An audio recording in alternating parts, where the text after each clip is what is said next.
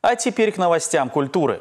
В Минске открылась выставка кино 70-х и не только французского фотографа Андре Перлштейна. Автор знаменит тем, что снимал актеров и модельеров, которые впоследствии стали звездами мировой величины. На фотоснимках можно увидеть молодого Алена Делона и Ив Сен-Лорана, а также других синема и fashion-селебрити. Выставка проходит в рамках месяца фотографий, недавно стартовавшего в столице. А чем порадовала уходящая неделя жителей и гостей нашего региона – расскажет культурный обозреватель Вероника Ворошилина. Пожалуй, любой из нас в своей жизни пребывает в постоянном стремлении отыскать простое человеческое счастье. У каждого свой секрет этого необъяснимого состояния внутренней гармонии и душевного блаженства. В картинной галерее Гаврила Ващенко сейчас можно увидеть выставку «Город счастья». Она отражает чувства и эмоции высшего удовлетворения, принадлежащих кисти разных художников мира. Выставка организована совместно картинной галереей и представителями международного социально-культурного проекта «Счастливая тарелка». Здесь представлено около 100 творческих работ как любителей, так и профессиональных и начинающих художников из Беларуси, стран ближнего и дальнего зарубежья. Главное условие выставочного проекта – изобразить на тарелке свой самый счастливый момент жизни и тем самым донести до людей. Счастье есть у каждого из нас, независимо от возраста, национальности и физических возможностей.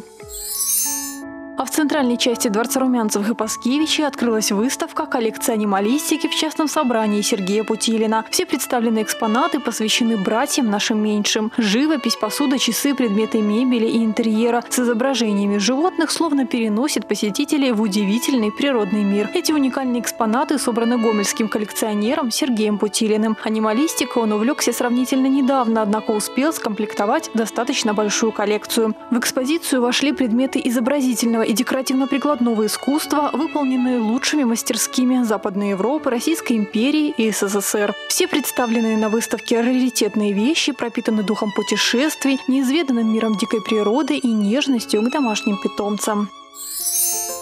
На уходящей неделе в Гомеле состоялись обменные гастроли городского молодежного театра с Могилевским областным драматическим. В город над Сожем приглашенная труппа привезла сразу три спектакля. «Сны о любви. Братья Элиза», ностальгическую комедию «Сказки Старого Арбата» и детскую музыкальную постановку «Гадкий утенок». Для самых маленьких и одновременно требовательных зрителей могилевские артисты выбрали спектакль по мотивам сказки Ганса Христиана Андерсена. На сцене Гомельского городского молодежного театра развернулась интересная интересная и поучительная история об утенке, который значительно отличался от своих сверстников и преодолел немало преград, чтобы достичь заветной цели. Из постановки дети узнали, что настоящая красота та, которую чувствуешь сердцем. Мир прекрасен, если рядом есть друзья. А еще, что нужно всегда верить в свою мечту и идти к ней, несмотря ни на что.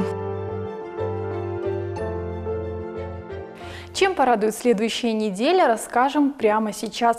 Гомельская областная филармония откроет новый концертный сезон. Он ознаменуется невероятным по красоте и зрелищности музыкальным вечером, объединившим солистов и творческие коллективы учреждения. Артисты Гомельской областной филармонии обещают зрителям поистине грандиозное шоу, вдохновленное фантазией и мечтой. В концерте прозвучит музыкальное наследие отечественных и зарубежных композиторов, духовная классика, лирические романсы, популярные эстрадные и народные песни. Все, чем можно впечатлить, удивить и порадовать публику. А тем временем Музырский объединенный краеведческий музей всех желающих приглашает на выставку «Край мой Мазырский». Здесь представлены творческие работы из фондов учреждения, преимущественно живописные произведения художников района. Неповторимые пейзажи, красочные деревеньки и уголки родной Мозырской земли навеют у зрителей незабываемые воспоминания из детства и самые счастливые моменты жизни. Событиями из мира культуры региона вас знакомили Вероника Ворошилина и Евгений Макеенко. Обзор подготовлен специально для программы «Новости недели».